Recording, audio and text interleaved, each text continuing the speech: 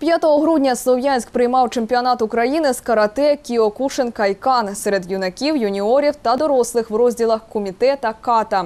На змагання у спортивному залі Донбаського державного педагогічного університету зібралися понад 40 учасників з Донецької та Київської областей.